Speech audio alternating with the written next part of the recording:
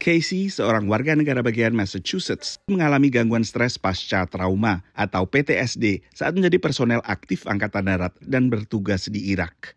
Probably one of the most memorable things was we got hit by rockets right before we were leaving, um, about a week or two before we left. Ia pun mencoba berbagai jenis perawatan kesehatan mental, tapi tak ada yang manjur baginya. You try talk therapy and that doesn't work. You try cognitive behavioral therapy, you know, saying what you feel immediately when you feel it and you know realizing where you are and centering you i'm like dude like this is like 2019 uh, i believe this is 2019 at the time and like i've been through it all.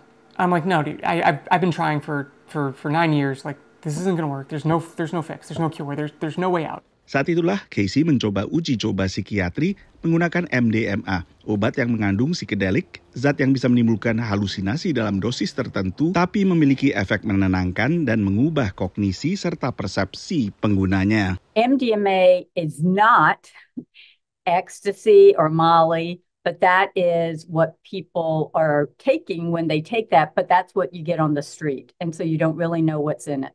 All of these studies are using, like I tell my kids, pharmaceutical grade MDMA. You know exactly what's in it.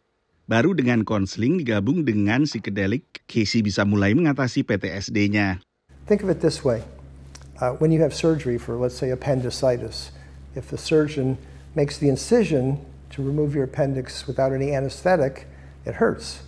Um, so in this case, the MDMA acts as an emotional anesthetic to allow the psychotherapeutic uh, uh, uh, therapy to be administered without the individual experiencing excruciating uh, emotional pain. Tapi Badan Pengawas Obat dan Makanan AS FDA pada pertengahan tahun 2024 menolak penggunaan MDMA dengan alasan lemahnya data, riset yang dipertanyakan, dan risiko tinggi penggunaan obat ini, termasuk gangguan jantung, luka, dan ketagihan. We absolutely need more treatment options. And PTSD sucks. It's a lousy disorder to have.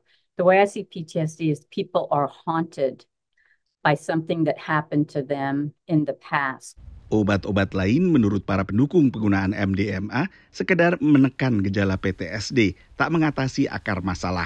Ahli medis memperkirakan 3,5 hingga 5 persen dari warga Amerika Serikat mengalami gangguan stres pasca trauma.